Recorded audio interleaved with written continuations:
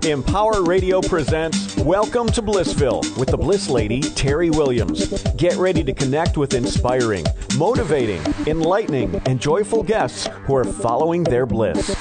Now, here's your host, Teri Williams.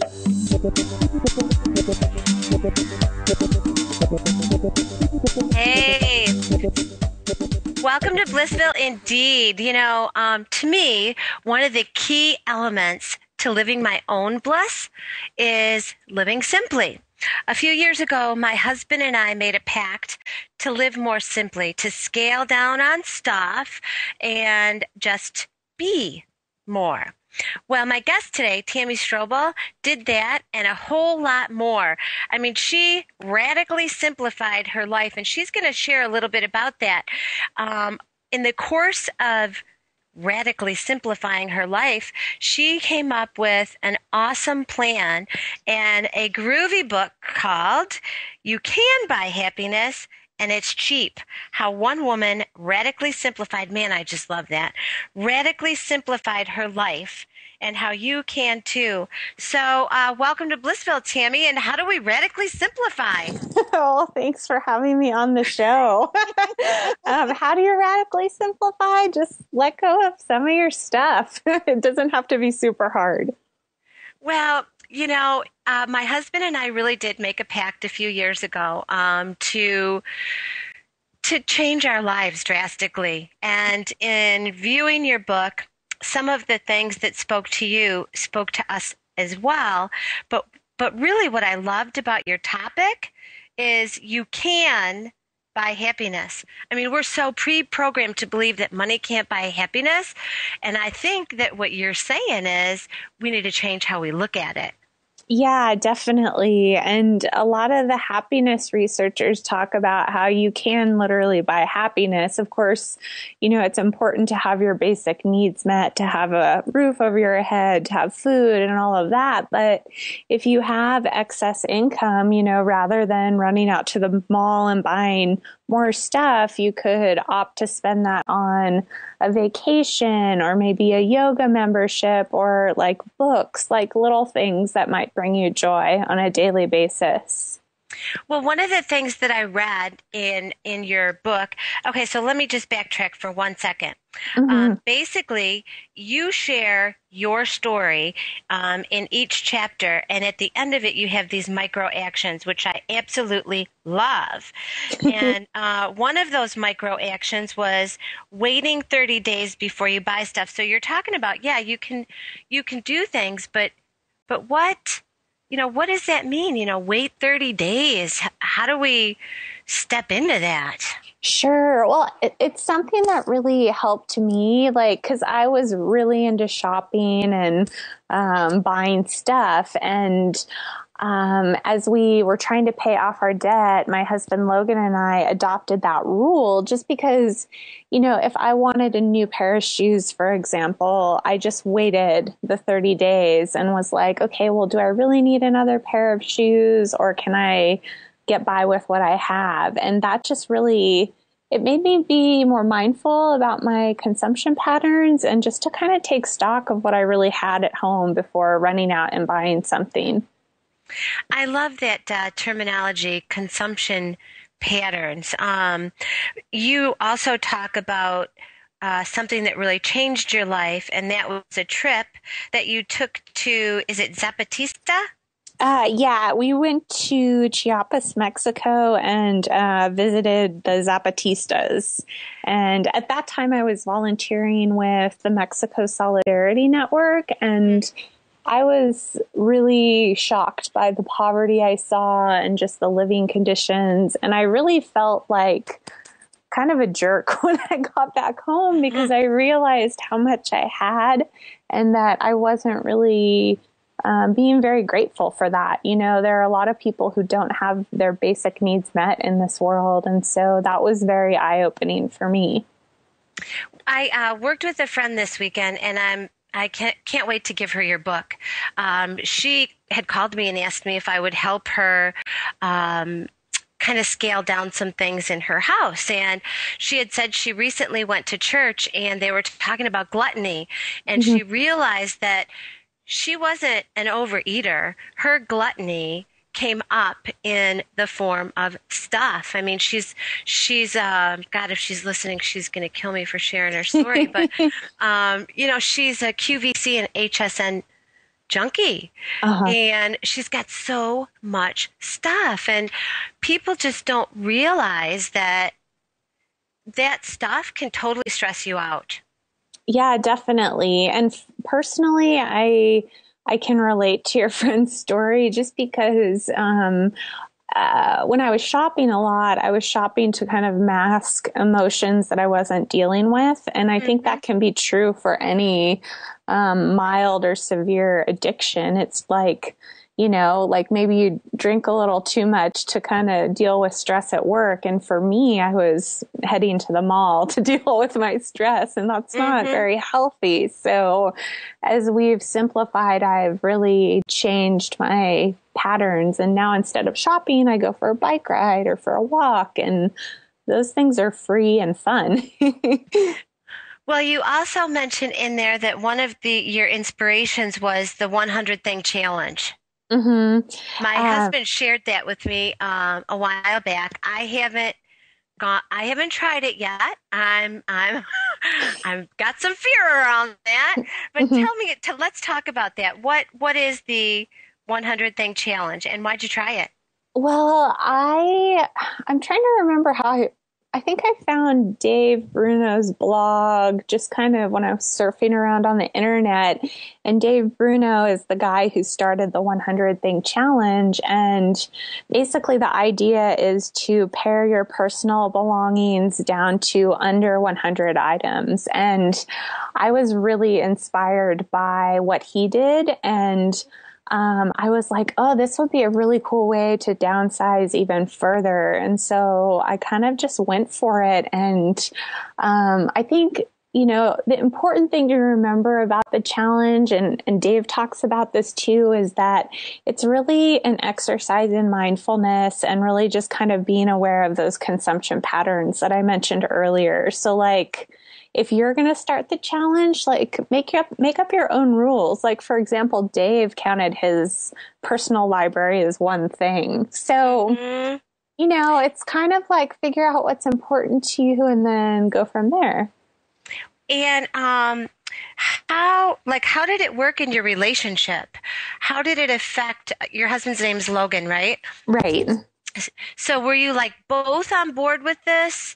Um, and and how can people transition through that like what if one doesn't want to and the other one does Sure. Well, with simplifying, like it was actually Logan's idea to begin with to kind of scale back and I didn't want I didn't want to do it at all. So I was totally the resistant partner, but we had a lot of conversations about uh, downsizing and really just talking about what we wanted from life, not only um, in our relationships, but in our work, and kind of looking at um, our lives holistically. And the more we talked, the more I realized, like, well, I might as well give this a try.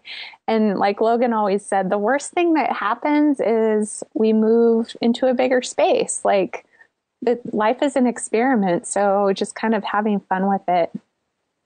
Yeah, well, it, it definitely is. And um, I kind of can relate to that. My husband and I went from, oh, a 2,000 square foot home and down to the last home that we lived in was 750 square feet. And we have uh, five children. Now, mind you, only one of them lives with us, uh-huh. but uh, it's a 21 year old, and like you, she's she find relieves her stress with shopping, mm-hmm. and so it was really a challenge to say, okay, we don't need this. We need this. You know, how can you look at it and be more mindful because it wasn't just my husband and I, it was my daughter as well that we really had to pull into this kind of new new way of thinking. It's an old new way of thinking, though, isn't it? Yeah, I think I think you're right on that. And you know, it's definitely I think probably more challenging if you've got kids. And in the book, um, I talk about my friend Courtney Carver, and she recently downsized her life and um, kind of her husband and daughter slowly kind of got on board with the idea and um, something I always kind of con- consider is just kind of talking about options with people instead of telling them what to do just because I feel like if if you tell folks you have to do X and Y, there's a lot of resistance to that and I know personally I can be resistant to like being told what to do. So just kind of being presented with options I feel like makes transitions a little bit easier. I yeah, I think that's really important um, and for me personally, that that became a learning experience as well with my own daughter. You know, my husband and I were pretty much on board with each other, but with my own children, it became it you know it just became important to say okay this is one way you could do it. And she's she's got her own little space so she's good. But uh, it's definitely a challenge definitely a challenge. Um, one of the things that I read in the book was uh, how you really became um, an economist. You know, as you went through college, and I kind of think of you now as a happiness economist. That's cool. yeah, you know, it's it's funny because um, I got my degree in economics and then ended up in the investment management industry, and I just realized like, oh, this is not for me. I had to get out of that field just because I, I I was really unhappy and it wasn't a good fit professionally. So I'm much happier with uh, what I do now, which is writing and photography. And it's just really fun. I feel lucky to do work that I love. Well, I think that that's a key to happiness really is is doing what you love and simplifying can really help you be in a space to do more of what you love. So um, let's uh, let's jump on that for a second. Talk about photography. What what are you doing with that? sure. So I'm I'm teaching an e course um, in the new year. That's it's called How to Capture Everyday Magic with Your Camera. And so, in a lot of ways, um, the photography is kind of a mix of like um, learning technical skills, but also it's really kind of about seeing the world and really noticing what's around you because for so many years I just kind of rushed through my daily life and um, I didn't notice like the changing of seasons and just like these little things that I pass by now and I feel like this compulsion to take photos of. So it's been um, a great thing for me just taking photos. Um, I just feel a lot more mindful when I've got my camera in my hand. Mm, I can relate to that too. My husband's a photographer, and I mean, he's taught me a few things, and it's amazing what you can, as you said, capture when you become open to it. So, have you created um, space in your home and you know in your life? then to do more of these things and to really get out there and um, focus it's like, do you yeah. have a photography studio and no, I don't have a photography studio. I mean, I'm mainly, um, I don't know. I, I guess I, I should call myself kind of a writer, photographer, teacher, because, um, a big part of my kind of job is writing and I also teach e-courses and then the photography is becoming um, a larger aspect of my life. And I'm not sure where that's going to lead me. Um, it's just kind of been this big adventure. And so it's kind of neat that way. And since I have my own little writing business, I have a lot of flexibility in terms of, you know, what kind of projects I take on, which is pretty amazing. Well, and you're a strong um, proponent of community work. You talk a lot about, you know, being in community and helping people out. Um, do you find that through simplifying, you have more space to do that? Yeah, definitely. And I kind of am in transition right now. I'm actually looking to start engaging more in volunteer work because we moved in September from Portland, Oregon to Northern California. And there were a lot of reasons behind the move, but um, I'm kind of like getting to know my new local community. And I'm like, oh gosh, what am I going to, what, who am I going to volunteer for? So that's really exciting. And um, now that we've been here for a few months and are getting settled, I'm looking forward to doing something with the extra time that I have. And so, how would you um, how would you encourage other people to go out and do those things? You know, what are some of the steps that they can take to start living living their own passions? Sure. Well, I think um, I would consider doing this thing. It's called kind of time tracking. And I talk about this a little bit in the book. Um, when I was trying to reprioritize what I wanted to do with my time, I printed out a Google Calendar and basically tracked my time for um, two weeks. And I noticed like all these blocks where I thought I was really busy, but I wasn't. like I was doing stuff like mm-hmm. messing around on Facebook or watching TV. And I decided to kind of X out those activities. I mean, I, I still go on Facebook. It's just not for maybe it's like a half hour a day or 15 minutes rather than two. and so, you know, noticing that and being like, well, instead of TV watching or Facebooking, I can go volunteer. And so, you know, I think we all have those time gaps. It's just a matter of kind of figuring out what that looks like. And then, um, you know, if you're for example, thinking of changing jobs, maybe start volunteering with um, an organization that you might want to work for, or just getting a little more experience that way. And it can be not only a benefit to you, but to the organization. So there's all kinds of options, but tracking your time is a great way to get started.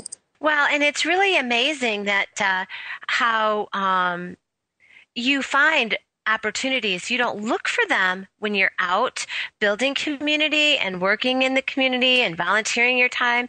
You don't necessarily look for opportunities, but it's amazing how opportunities can happen. Um, I have a friend, her and I were both um, downsized more to make a long story short, right? Mm-hmm. We were both downsized a couple of years ago and um, came up with a project that we decided to work with um, for one of our local organizations here is to raise backpacks for the homeless. Mm-hmm. And um, from that experience, both of us picked up you know, new clients and new opportunities to work with people that we would have never met had we not been in that same, you know, in that, in that space of, of volunteering our time. And neither one of us looked at it as that type of an opportunity, but it was a beautiful experience in that it brought that to us. Yeah, it's I've had that kind of similar experience in that you know just going out and volunteering with an organization and then um, being asked to like do web design work and you know or writing some freelance articles. It's just been it's so cool in that way. It's just kind of I think all about being open and uh, going from there. So yeah. Okay, and one thing that that we didn't really talk about that I wanted to talk about is um, let's talk more about that tiny house. What does that mean? I mean, what you talk about it being a movement too. So let let's talk about that a little bit. Sure. So we live in a really tiny house, and it's um, it's more it's kind of like a cabin, but it's on wheels. So the house is 16 feet long, it's eight feet wide, and it's 13 feet tall. And so um, to kind of uh, give listeners a perspective, it can literally fit into like a car parking space. And so um, it looks like a little cabin, but it's mobile and um, it, it meets our needs. Like we've got a little sleeping loft and a small kitchen and um, a pull-out bed for guests. Um, and you know, not everyone wants to live in a super tiny space, and that's totally fine. But for our particular situation, it's been so great because, like, you know, we had just moved from Portland to Northern California, and we were able to just take our tiny house on the road. so that was really fun, and um, it's been just a neat experience living in the space so far. And what do people think when they, or say, you know, like when they see you pull up? Have you gotten, I bet you've gotten some crazy feedback. Well, you know, people, as we were driving from Portland to California um, and stopping at like rest areas for breaks, yeah. people were just fascinated by this little house. And they're like, what is this? You know, is it an RV? Like, and it, it is similar to an RV, but um, it's built for year round use. And then, you know, it has a cabin look. So it's, it's very different in a lot of ways. But, um, you know, I would say most people have been really supportive of, you know, this idea of living in a tiny space. And, um, uh, yeah, I don't know. I mean, the feedback's been good and overwhelmingly positive. So that's and nice. what do you like most about living in it? Um, oh, so many things. I feel like so connected to my surroundings. Um, like when you're sitting in the house from any vantage point, you're looking out a window, which makes the space feel larger. And it's just really cool because I feel like I see more of nature and just kind of notice things that um, I didn't when I was living in an apartment. Mm-hmm. So that's kind of nice. And I love the sleeping loft. It's really cozy. Well, and you have pets, I, right? Yeah, we have two. we have two cats, and uh, they they're really cute. They love the space. Well, listeners, we're talking with um, Tammy Strobel, and I say you have pets because she's got an amazing website called Rowdy Kittens. It's really a blog, um, and it's very cool. Along with her book, you can you can buy happiness, emphasis on the can, and it's cheap through radically simplifying. Um, Tammy, what is your definition of happiness and simple living? Oh gosh, it's for me, it's really, it comes down to just noticing where I'm at and just being in the present moment. Um, you know, like I was saying earlier, I've rushed around for so many years that um, just being able to kind of sit still and, you know, just enjoy where I'm at in the moment has been um, a really nice thing and a big change for me because it's like, um, I'm not always thinking about like what I have to do. It's like earlier I had a great lunch with my husband and we were just enjoying the view and the sun. And I guess it boils down to just being grateful for the little things and being present. Yeah, um, I hear you on that. We had a house fire 11 years ago, and um, it's amazing how how you realize it's just stuff and you can really connect and be grateful for all those little things in life, right? Um, yeah. unfortunately, we are down to the wire and um, and ready to to close out our show here, it has been totally awesome having you with me here today. Uh, I can certainly testify to the fact that simplifying your life can add more joy. Um, I love to have my guests leave the listeners with one or two thoughts that they can take with them to to bring more joy to their life. What what would that be for you, Tammy? Um, well, a couple things. I would just say, you know, go out to dinner with your spouse or your mom or dad and just um, have a good time or make dinner at home and just be with them in that moment and maybe go for a walk and notice the fall leaves and um, enjoy the nice weather if if you've got some in your area. Awesome. Well, thank you again for being here. Um, I am a big supporter of living simply, and I love that term radically simplifying. Thank you. Thank you.